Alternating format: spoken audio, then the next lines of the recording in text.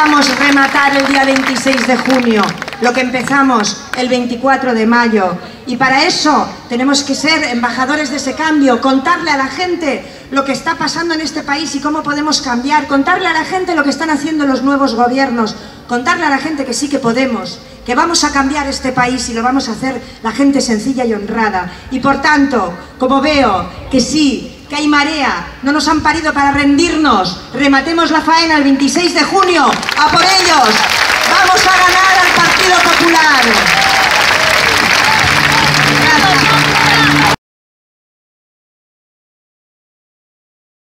Felices.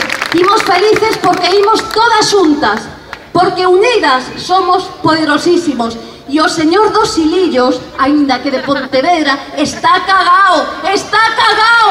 Claro que sí, os poderes económicos están asustados, están asustados porque saben que a xente do común vai gañar. E mirade, é a campaña das mulleres, Non hai un novo tempo político, ninguna nova política, ningún novo país sin as mulleres se si non nos poñemos en pé.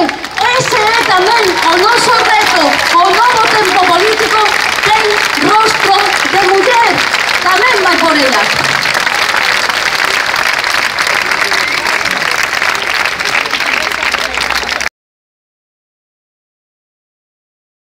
Y a todas por este recibimiento. Gracias Yolanda por la presentación, pero gracias de verdad a vosotros y a vosotras por llenar esta plaza, porque nos carga de energía, nos carga de fuerza y es precisamente lo que necesitamos en este proyecto político para que el 26 de junio echemos al Partido Popular. Eso está al alcance de nuestra mano.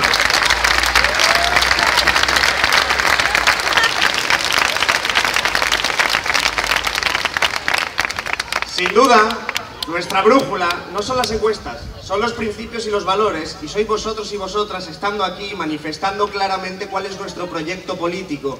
Y es esa brújula la que nos está permitiendo cargarnos de energía para saber que necesitamos necesariamente echar al Partido Popular. Pero claro, tenemos que preguntarnos por qué. ¿Por qué tenemos que echar al Partido Popular? Yo creo que es evidente que no, se, no puede gobernar una organización que solo sirve para delinquir, para delinquir de forma ilegal y para delinquir de forma legal.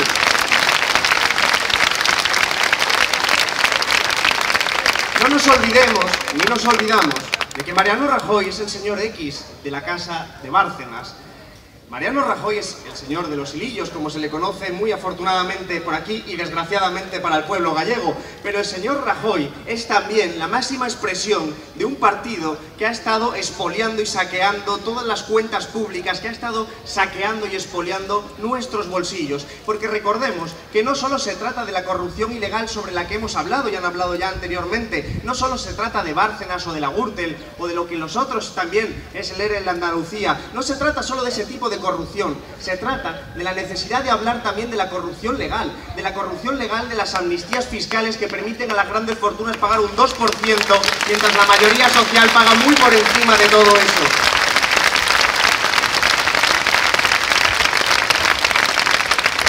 O de las las privatizaciones que son una fórmula de saqueo, es una fórmula según la cual nos quitan lo que es de todos y de todas para dárselo a una minoría, a una oligarquía para la que gobiernan. Y si la crisis ha puesto algo de manifiesto, es precisamente eso, es precisamente un gobierno que te dice que no hay dinero para la educación pública, que te dice que no hay dinero para la sanidad pública, que no hay dinero para la ley de dependencia, que no hay dinero para las pensiones públicas. Y de esa forma justifica teóricamente sus recortes, pero después, qué casualidad, sí hay dinero para rescatar autopistas sin coches, aeropuertos sin aviones, bancos sin dinero.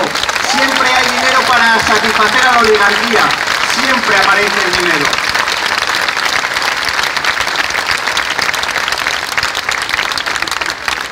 Contra ese Partido Popular estamos luchando. Por un cambio de gobierno, pero también por un cambio de políticas. Nosotros no queremos solo un cambio de gobierno que cambie las caras para aplicar la misma política del Partido Popular, se llame Partido Popular, Albert Rivera o el programa de Ciudadanos. Nosotros queremos un cambio de gobierno para que haya otro tipo de política, política dirigida a satisfacer las necesidades más básicas de las clases populares. Por eso, esta expresión popular, estando aquí en una plaza, es precisamente lo que más les aterroriza. Precisamente Es eso lo que les genera miedo, el miedo que intentan inocular en la ciudadanía, diciendo que si gobernamos nosotros habrá miseria, habrá pobreza, habrá desigualdad. Pero vamos a ver, ya existe desgraciadamente eso y han sido ellos los responsables de sumir a una población entera en la miseria, en la pobreza, en la desigualdad. Son ellos los que nos han echado de nuestras casas, los que nos han quitado los empleos. Es su política, que no solo es injusta, sino que también es ineficaz, porque no estamos saliendo de la crisis, solo sale una minoría de la crisis, una minoría que ha aprovechado esta crisis para enriquecerse, para poder incrementar sus propias fortunas.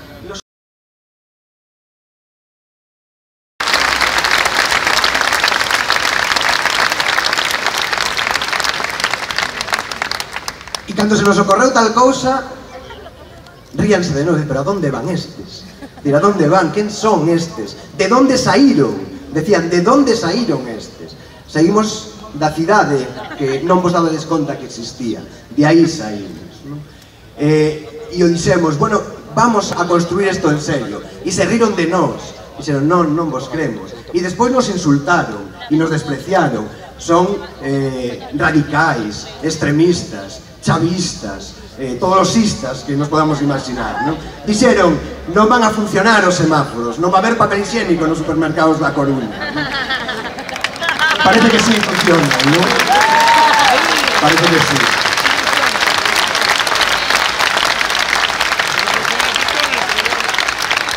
Porque vos, vos tivestes claro, tivestes claro que non íbades, non íbades a aceptar as súas mentiras. Ibades, ibades a sumarvos a marea de ilusión non? E íbamos a construir con ilusión. E con ilusións construímos, E a nosa ilusión e a nosa alegría Foi moito máis forte que as súas ameazas E moito máis forte que o seu medo. O seu medo non les vai a dar a victoria Non lles vai a dar a victoria A nosa ilusión e a nosa alegría É o que nos permite gobernar De xeito diferente para a xente Porque iso é o que estamos facendo. A ilusión, a ilusión sigue intacta Un ano despois. Claro que sí, sigue intacta.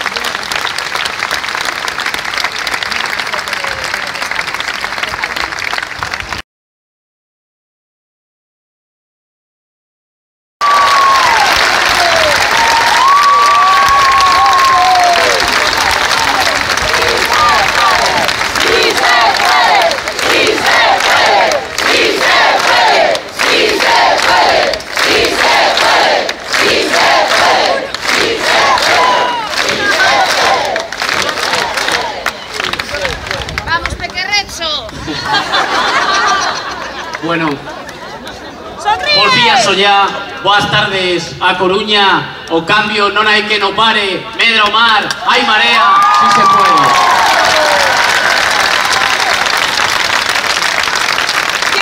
Gracias.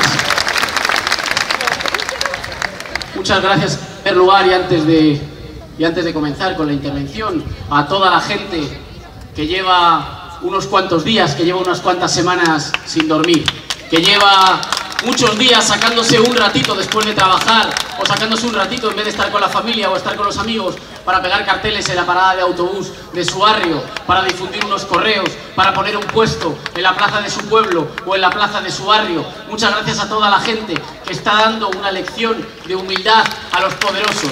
Mirad esta plaza y veréis cómo la gente sencilla puede ganar Puede ganar sin empresas de marketing, puede ganar sin pedirle préstamos a los bancos, puede ganar hacer campañas millonarias, puede ganar con la ilusión y con la militancia. Muchas gracias a los imprescindibles, a quienes ya estáis haciendo la campaña del cambio político.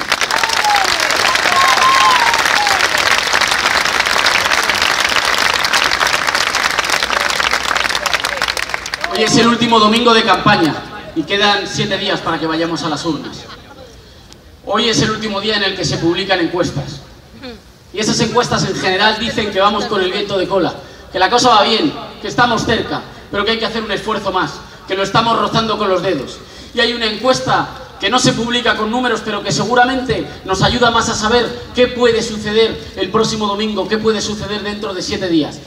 Ayer estuve en la sexta noche y tuvimos un, debate electoral con otros candidatos. A quienes lo vierais, veríais un panorama distinto.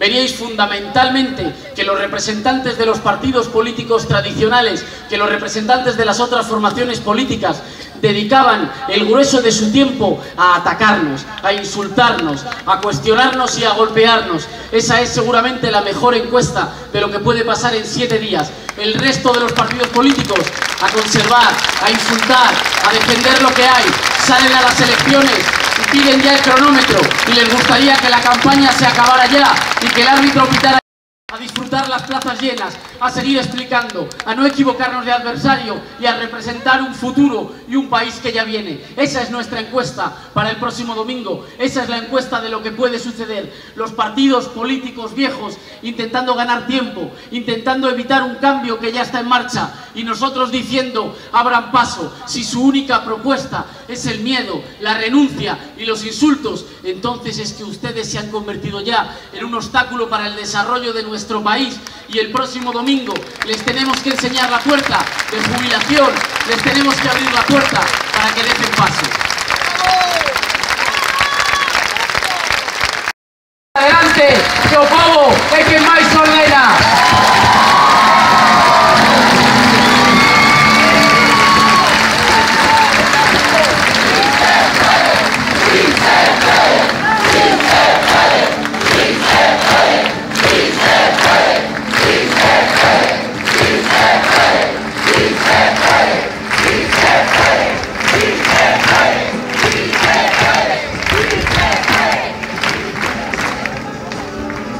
dejo con un compañero que conocí hace ya mucho tiempo, siempre en primera línea y que sigue en primera línea, en defensa de la dignidad de su pueblo, en defensa de los derechos de la gente, en defensa del cambio político.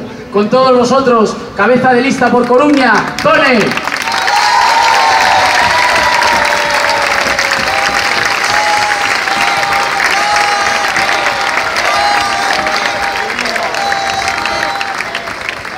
Bueno, bo día, boa tarde a todos e a todas. Eh, para o da casa queda un papel complicado, pero creo que hay que decir antes de nada que no hay quien pueda con la gente marinera, que hay marea, que vamos a gañar y que vamos a votar ao Partido Popular das institucións.